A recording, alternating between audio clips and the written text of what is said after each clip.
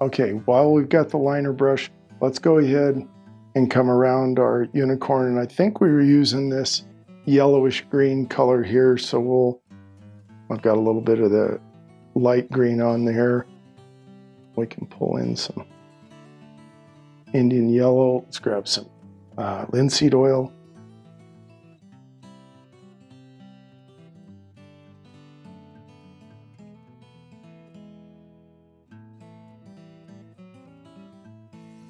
Got a plumber coming to the house tomorrow.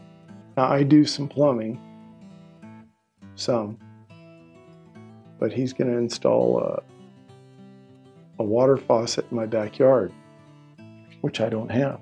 I have one in the front, none in the back. So he's going to drill through the uh, kitchen, under the kitchen cabinet, run a line. And it's just a project besides not having the time to do it, um, I like this guy. He's a good plumber. He installed my water heater. Again, I could have done that. But in these manufactured homes, they they use this little half inch PVC uh, pipe underneath all the just cheap stuff. And uh, they had that stuff run into my water heater he replaced all the piping, all new lines, had everything all cleaned up, just professionals all get out. And I thought, you know what? I couldn't have done that. So um, sometimes you're capable of doing stuff. And, you know, if it's something you're comfortable with, I say do it. You know, I, I installed flooring uh, pergo wood flooring throughout my house uh, over the last year and a half. I bought it, you know, box by box, did a little here, a little there. Uh, I'd move my wife's hospital bed over here, cut a little bit of carpet up, roll it up, take it out to the trash, dirt and dust and all that stuff, and you've got staples in the floor. You know, I just worked on it little by little, and it looks good. Um, I couldn't afford to have somebody install something like that. So I did that myself. When it comes to electricity and plumbing and stuff like that, I usually let other people do it that are capable. Making sure that our, our color kind of matches the rest of this. And what I'll do is I'll just put this solid color in and then I'll take a look at the way our path looks and maybe put some spots of color to make it look consistent, like it belongs. Oh man, my hand's getting shaky.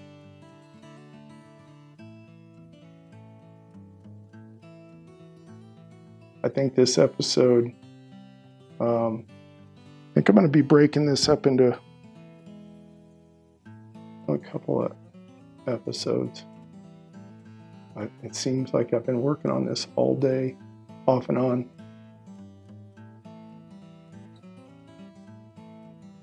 While I've been talking to you guys, my battery on my cameras died twice, and I had to stop for an hour each time and charge it back up. You didn't even know that, but I did. Um, got a, got a few phone calls had to take some important phone calls. My wife is on hospice, so one of the phone calls was uh, was the hospice office. The nurses calling to check in on us.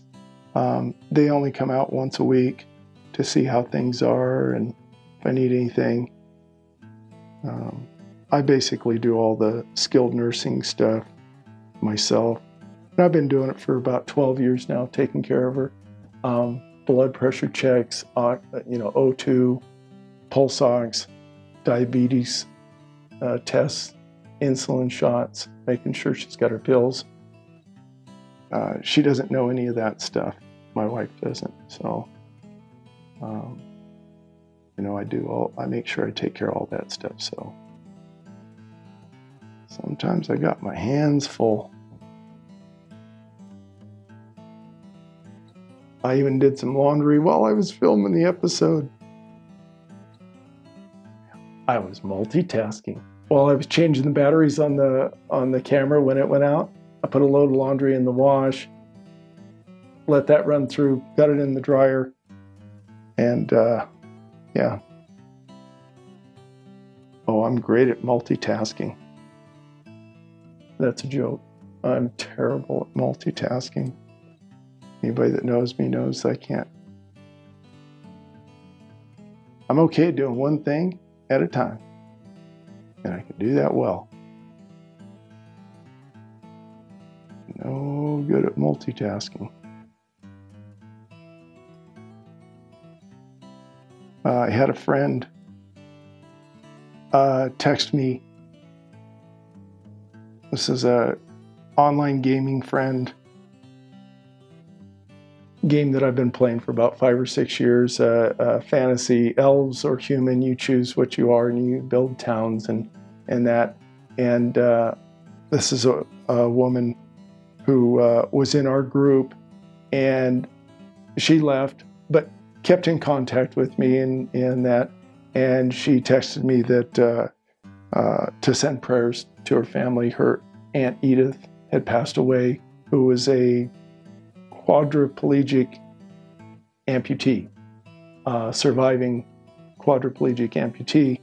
And I guess Aunt Edith had um, just the most positive attitude, and everybody that she was around just, you know, got positivity. So even with her disability, um, you know, apparently this woman was was just, you know, a beacon of light to other people, and that's that's just awesome. So uh, I send my thoughts and prayers uh, to my friend and her family, and uh, her name's Kathy, my friend.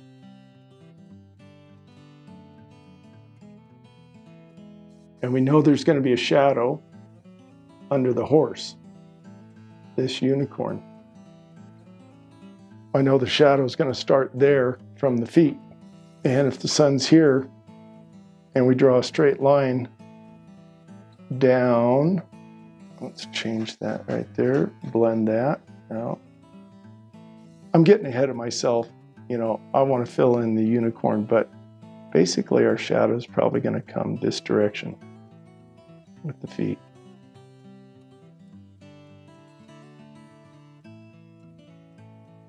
Something like that. And then the body would be here and that. Over to that leg.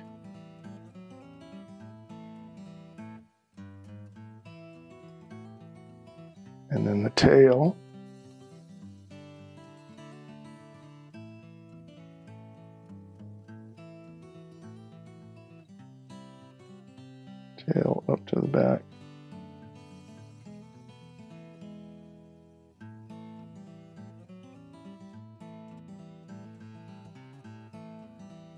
That's the foot that's up in the air, we're going to say.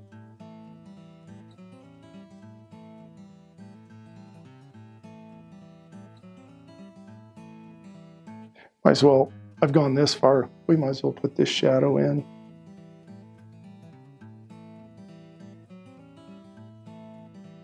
I'm just using my big liner brush.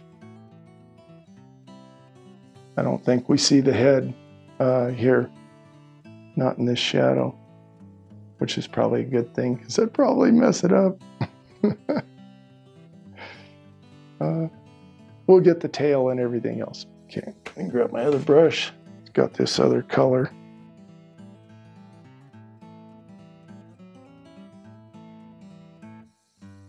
we put this little grassy stuff that's kind of fallen over the edge. And I'm just cleaning that up, kind of blending the existing pathway out towards that. I don't know that I want to, I thought about lining both sides with trees or, or something like that. But I kind of like this open and being able to see this misty clouds on each side and how it goes down. Uh, I don't know how you guys feel about it.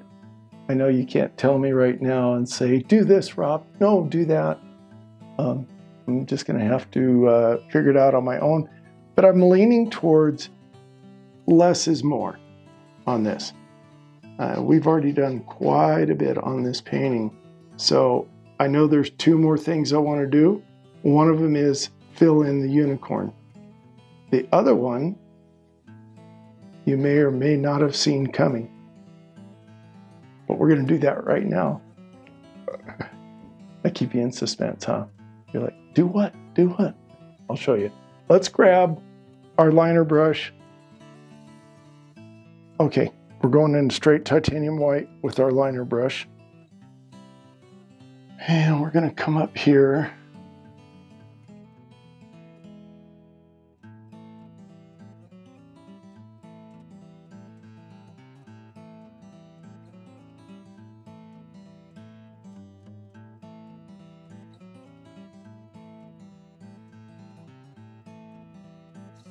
I think what I want to do next is uh, fix these cliffs.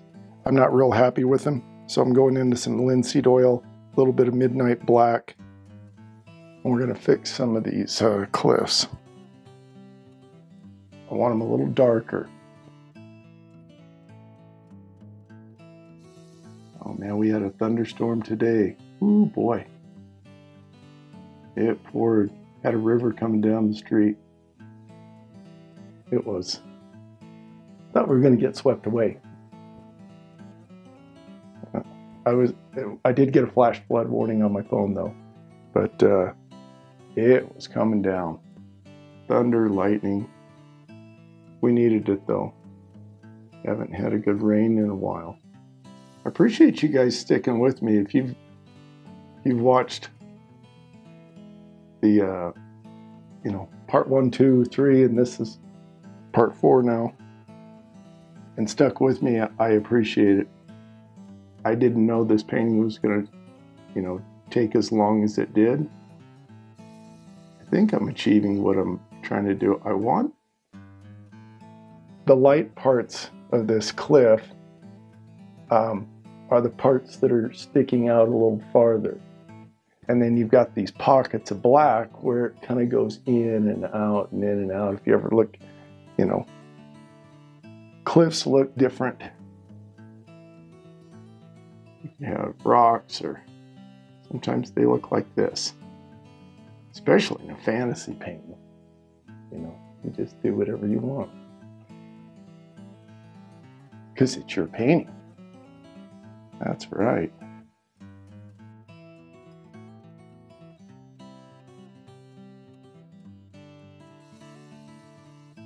While we've got this midnight black going, I've seen a couple things that I want to change right now as we're going.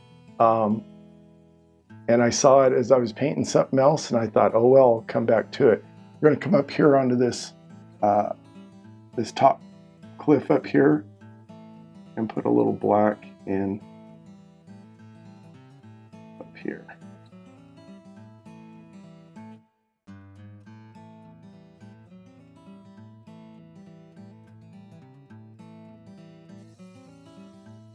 just one of those things, you know.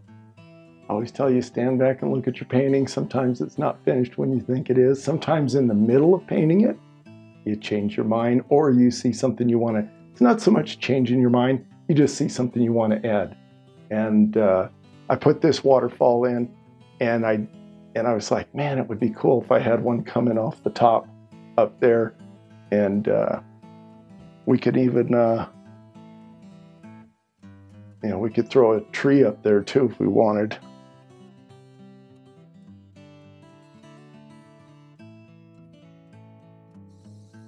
You don't have to add a tree into your uh, painting. If you're following along and you're doing this unicorn painting, you don't have to put a tree in it. You don't even have to do the waterfalls if you don't want to. It's all up to you on what you want to put in there. Um, I'm just seeing some some things that might be kind of cool.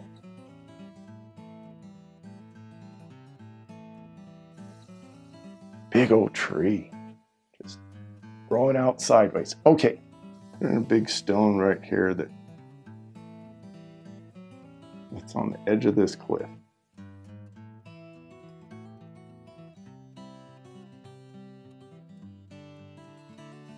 And we don't know where the, these waterfalls are going down through the clouds, way down. You know, we don't know how high up this castle is. Up in the clouds, above the clouds.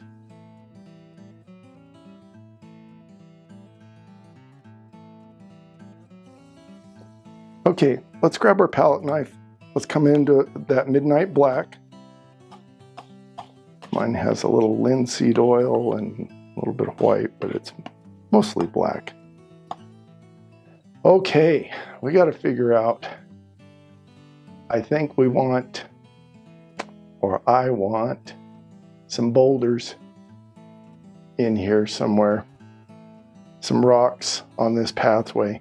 I think that's what I'm going to do. Here's my thinking. There you go. Instead of lining this path with trees, or a couple trees, which would block our waterfall, possibly block the castle. We don't want to do that. I'm thinking of something to put along this pathway that's not a tall tree. And I'm thinking maybe there's some boulders. There's a couple up here uh, on this waterfall. So let's let's put a boulder or two in here and uh, let's just come over here and yep, we're just gonna Looks like I just screwed up the painting. Kind of does.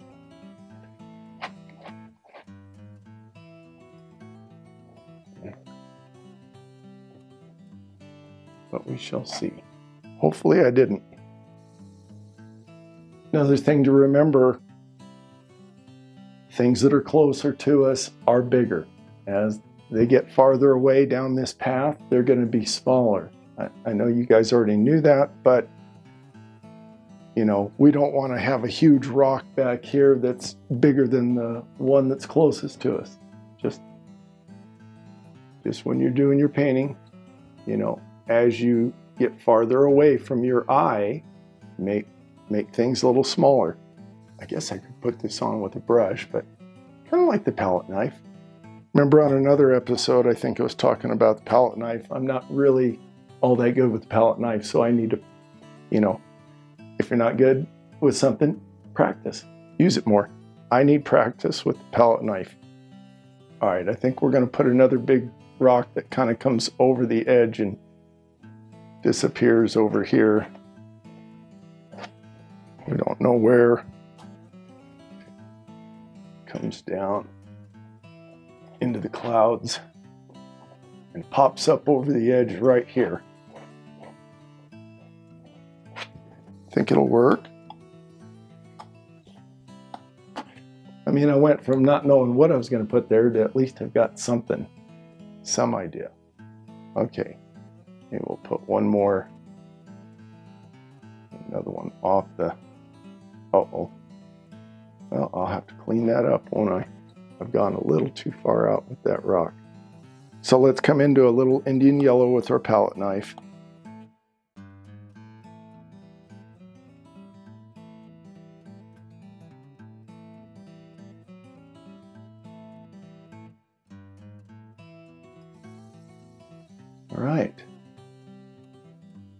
One more at the corner here, I'm thinking. Grab some Midnight Black. Maybe we've got a rock that kind of comes up. And the path goes around this rock. I'm just going to take a little flat brush and go back into the Midnight Black. Let's draw a little shadow line right at the base of this maybe thin it down with a little linseed oil. A little more transparent.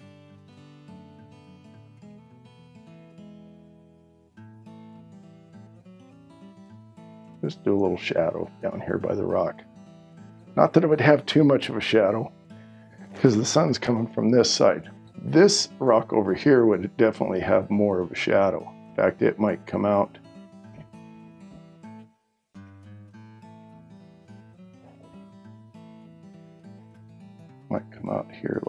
this.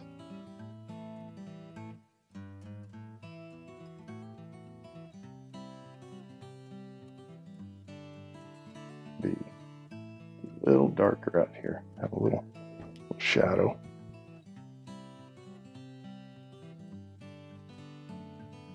just use my finger to feather that shadow out. Blend it a little bit.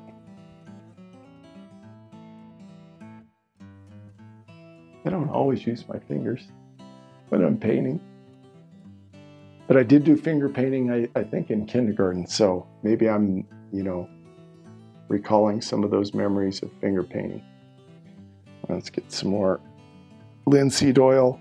Definitely want to thin this black out because, uh, yeah, that makes it more, this will be more of a shadow color, not so much straight black.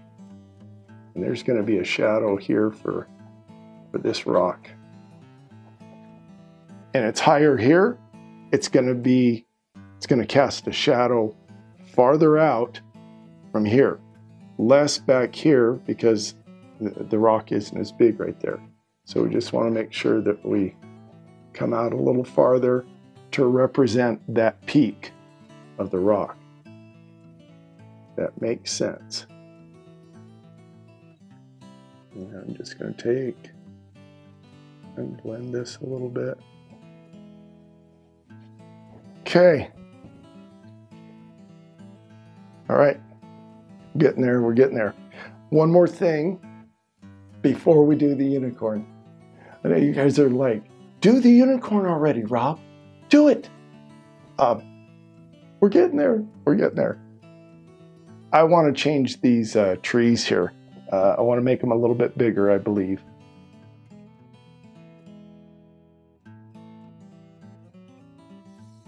Okay. One thing I do want to do, this shadow on the castle's been bugging me. I'm thinking the shadow uh, uh, with the sun coming down, the shadow would be a different shape. It would, it would actually come back here more like that. Straight back. That would be the shadow of the castle. We just put some little grassy things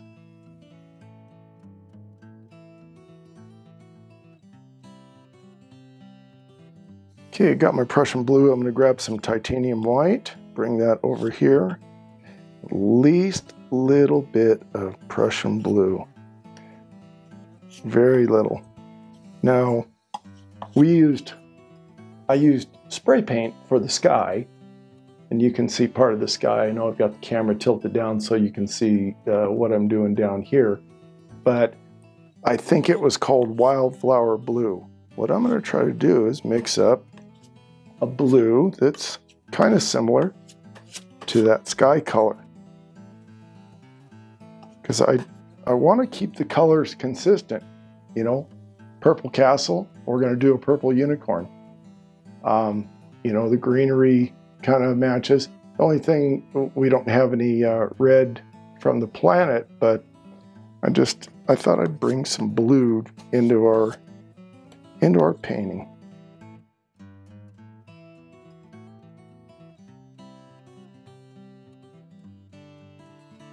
as we get farther back and these get smaller, it's going to be hard to do, you know, that little circle of petals around the flower. So we, we're just going to make the indication at the top of these.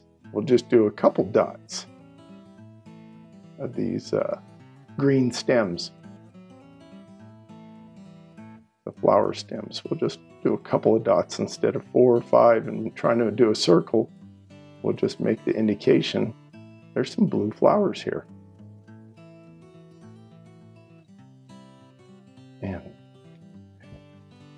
Stand back and look. And I think this is similar to our, you know, I don't know. It's close enough, I think, to our sky color that it ties in, you know.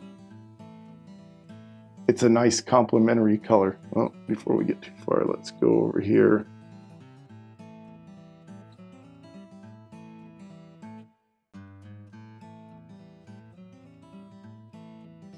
So that violet It's actually called Violet. And we're going to mix titanium white with it. Grab my flat brush, go into the purple.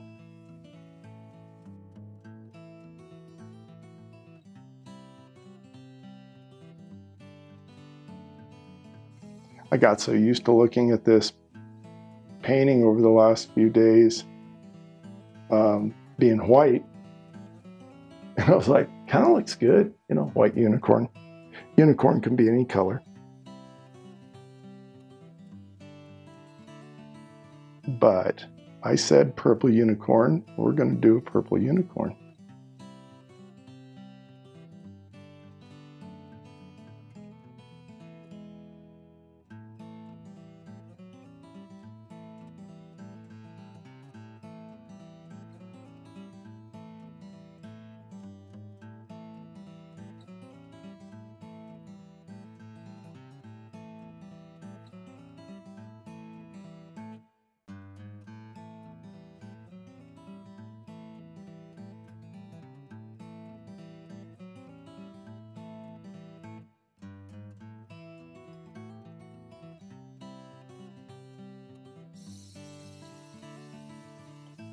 I'm using the dark purple, a little bit of black, mixing those, using my liner brush.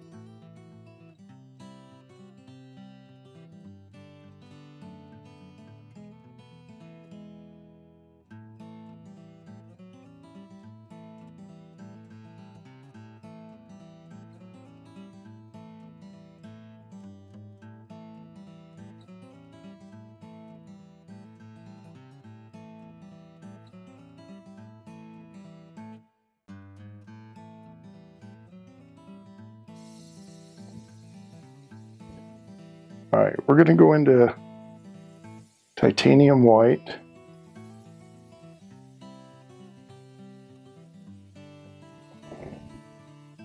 Just a little bit. And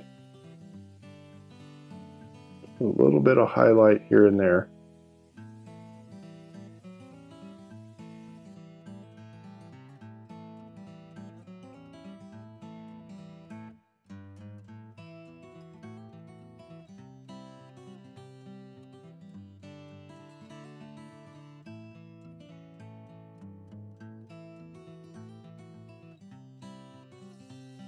What do you guys think?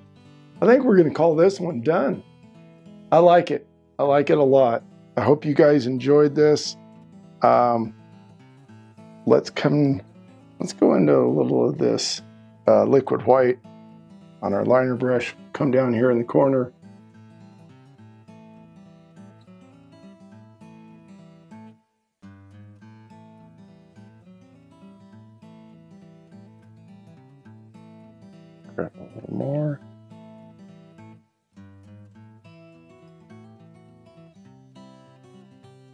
There. We've got a sign painting. Set my palette down. We did a purple painting. Sassy wanted a purple painting. What do you think, Sass? Oh, I like it, Bobby. I like it too. You're welcome. Let's do it again soon.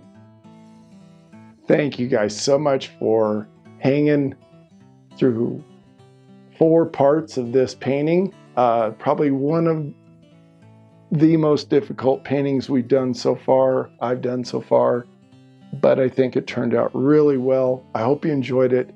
I will see you on the next episode. Bye bye.